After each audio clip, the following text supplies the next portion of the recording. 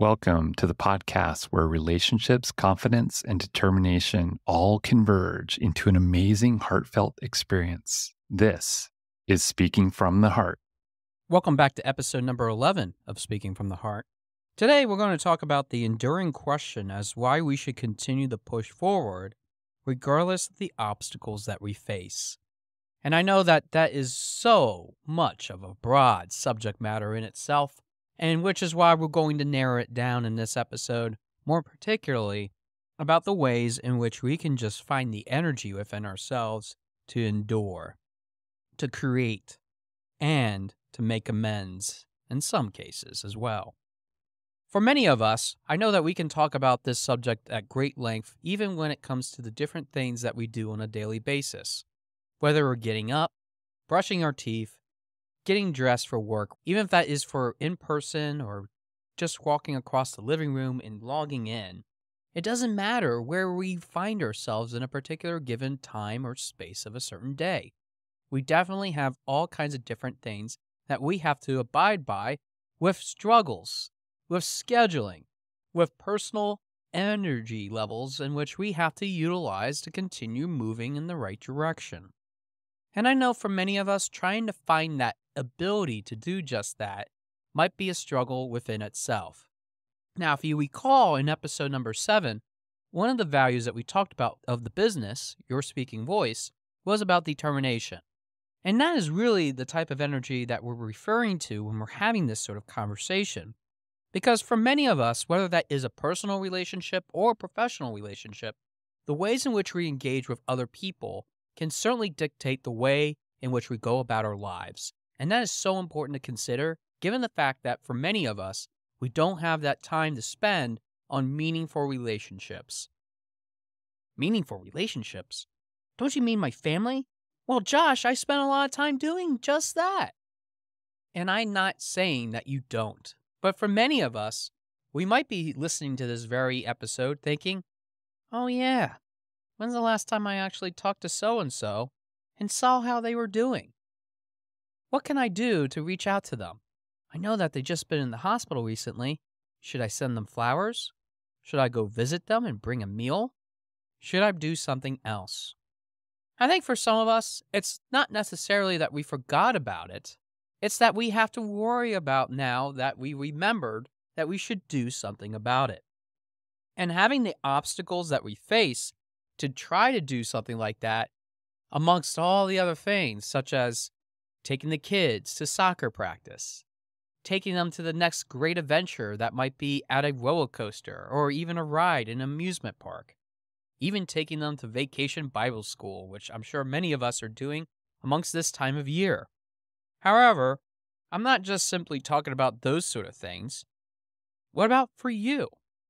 What is it that you should do so that you have the energy level to continue doing all those things that I just listed let alone so much more. And it's all about balance. The balance of being able to say that I need to take care of myself at this important juncture, or being able to understand more fully the ways in which we can move forward and move backward when we need to move backward because somebody forgot something at the house and I have to drive all the way back and get it. Really, the ultimate question is with all those things going on, sometimes we're asking ourselves, why should I care? And I'll tell you that for many years of my own life, before I even started the business, that trying to find that care, that compassion for something else was really tough.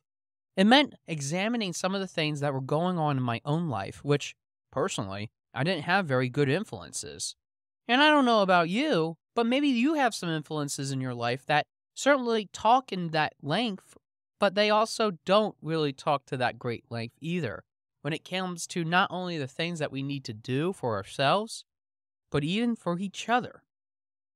Trying to find ways in which we could find that energy to say, I care because, often means making a sacrifice. I know for me, I had to take that sacrifice to a whole new level by taking care of myself first and this leads into a story that I want to share with all of you. Eight years ago, while working at one of the state agencies that I worked at, my boss saw me just completely dejected, completely removed, feeling as if I had the whole weight of the world on my head and shoulders. She said to me, What are you still doing here? You have plenty of time built up. Why don't you take a long vacation? I thought about it, pondering at my desk, thinking about all the piles of files that were around me that I needed to work on, along with the various amount of purchase orders and things of that nature to be processed so that people can be happy where they are at right now. Thinking about it some more and then realized that, ah, yes, I do need to do this. Aha! This is the time to do it. I want to take a vacation. And I remember October 2015 as being one of the more memorable experiences of my life when I loaded up my 2010 Dodge Caliber, filled with supplies in which I was able to eat, consume along the way, and to take a road trip from the middle of Pennsylvania all the way over to the southeastern part of California. Now, I will tell you that this is the first time I traversed the United States in a road vehicle across all the various interstates.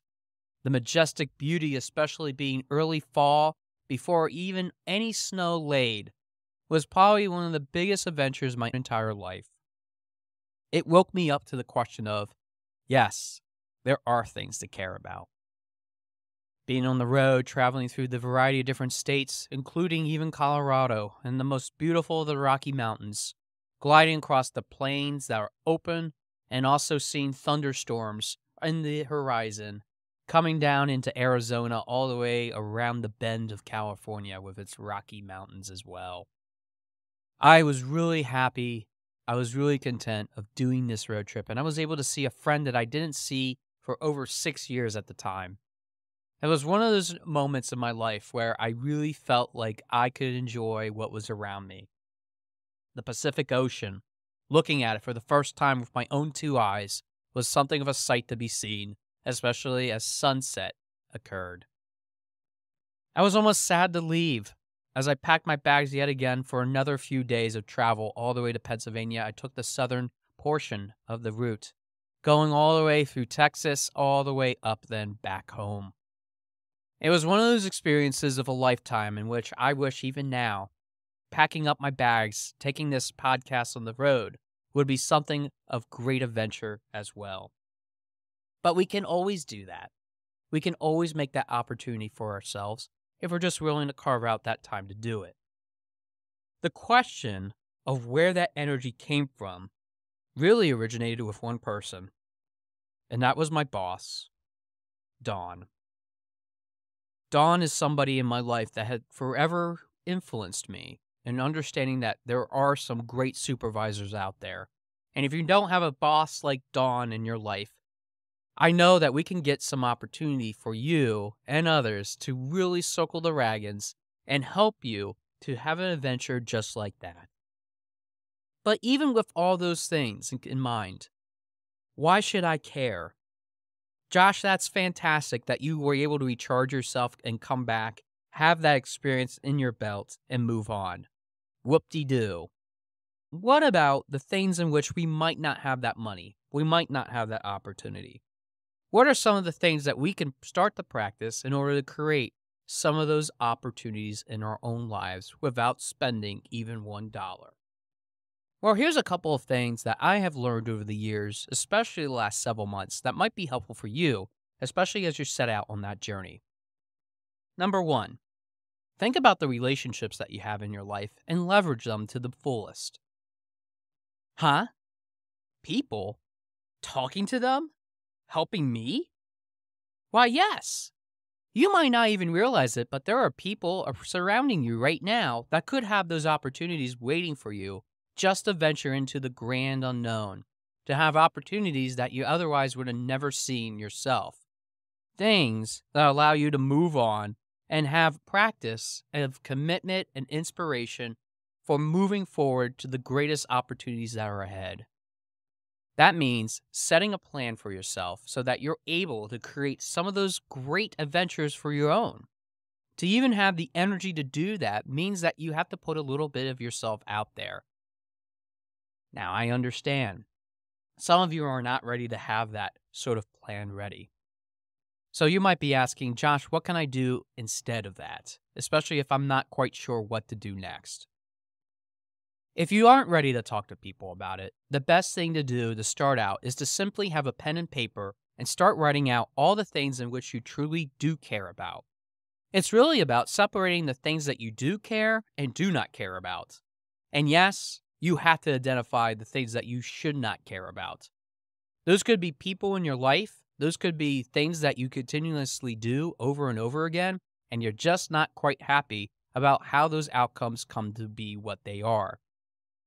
If you are able to just simply write down what are some of the things that really give you joy, while also helping you to understand the things that don't give you joy, you could start to purge some of those things that might be energy suckers. Those are the things in which really detract from the opportunities that really present in front of themselves because really you're shrouded in a cloud of darkness every time that you actually look at that item on your list and think, man, do I really have to do this? It's almost as if we get up in the morning, as I even explained earlier, brushing your teeth, getting dressed. Maybe there's some things that you can minimize in that process in the beginning of the day so that you're ready and more energetic to take it on. But even with talking with people and even writing it down, one of the most effective ways in which helped me to even get started with what I'm doing is thinking about and brainstorming out loud what are some of the things that could be my envisioned future? What could be in your future? Maybe it's something that you can just do within the next week. Maybe it's something that you've been putting off for a long time. Maybe that thing that needed to be fixed around the house. Maybe that leak in the car that needed to be plugged and you need to take it to the mechanic. Or it could be as simple as doing something for yourself that you have never been able to do for quite a long time maybe going to your favorite restaurant, maybe going to a arcade. There are places that allow you to have all kinds of different types of fun, whether that is for axe throwing, whether that is for the different types of things that you could exercise within yourself. It's all about understanding a little bit more of not only the things that you can do to create some of those opportunities, but giving yourself a little bit of love and acceptance along the way. Even being able to do that starts to change your brain pattern. And that's the goal. There are many different ways in which we are able to do that, in which I've listed three of them for you to begin. But even with that said, each of us have unique struggles, which is why I'm offering you to reach out to me, contact me on my website, www.yourspeakingvoice.biz, and let's talk. Let's figure out a way in which we can start to re engage in that conversation. And figure out what might be the best fit for you. Because the path in which we overcome with obstacles is complex and full of different types of landmines that are placed along the way. Being able to navigate that, even with a compass in hand, and even a map for that matter, whether that's on our phone or physically, can still be challenging in itself. But we need to figure out the ways in which we can care not just about ourselves, but about each other and that is really the key. We've already had guests on this show that talked about how we can truly care, whether that is from the people that are differently enabled, as just the last episode talked about, or even to people that are human centric. It's about connecting yourself with a vast network of different individuals and even people, for that matter, that allow you to see not only the things and the opportunities that are out there, but also seeing what could be possibly on the horizon just like that sunset I got to see just eight years ago. The opportunities that we present eh, to not only each other, but to others, really starts at its core. We need to make a commitment to be able to spend a little bit of time to do that. And that can be the most challenging thing given our wide network of different things that we do on a daily basis. But it's easier than you think. You can certainly start anywhere as long as you're taking baby steps. And that's the key, too. It doesn't mean we have to exert so much energy in which we have to do what is the latest fad. That doesn't mean essentially going on this crazed diet in which we're able to feed ourselves with this nutritious food, which later might not be as nutritious because we overdid it. We didn't listen to the experts. We should have been doing it a completely different way. I think of things that are fads those fads can really do more damage than actually do good, which is why it's so important to invest in yourself with having a pencil and pen and taking some time to journal about what those sort of things are that might be obstacles or not. By simply writing down a list of what you care about and do not care about, you can certainly start to ask yourself the question of why should I care about these things that are not giving me any return? After all, it could actually turn into some of the things that maybe you've been putting off for a long time divorce, career change, getting that medical procedure done. Maybe something completely different than those three reasons. Because no matter what it is that faces us, we can certainly find the reason to care. All we need to do is repurpose it into something that we truly believe is necessary for ourselves not to just make amends, not to just even move on in our lives, but that brain change can certainly help us create some of the best versions of ourselves if we're willing to think outside the box. And that's truly what this is all about. Learning how we can adapt in this ever changing world by simply thinking about ways in which we can care differently. Even if it is just a small amount of writing down and taking some time for yourself, just as you're taking time to listen to me, you can start to make strides in that direction that you always wanted to take. And for that, that makes you a great person to work with. That makes you a great person in which you are going to become something that you never thought possible. Because starting with that you have unlocked the door that has been shut for a long time. That door of why should I care? And you're walking through it, knowing that you are going to be able to help yourself and possibly others in seeing what it means to not only be personally enriched, but professionally developed. You can have a dawn do just that you can experience some of the most majestic beauty of the United States. You can even enjoy some of the things that are just in your backyard, no matter where you are in the world. All it takes is for you to push forward, knock those obstacles down, and see that those setbacks are no longer setbacks. They are you getting out of your own way. Thanks for listening to episode number 11 of Speaking from the Heart and I look forward to hearing from your heart very soon.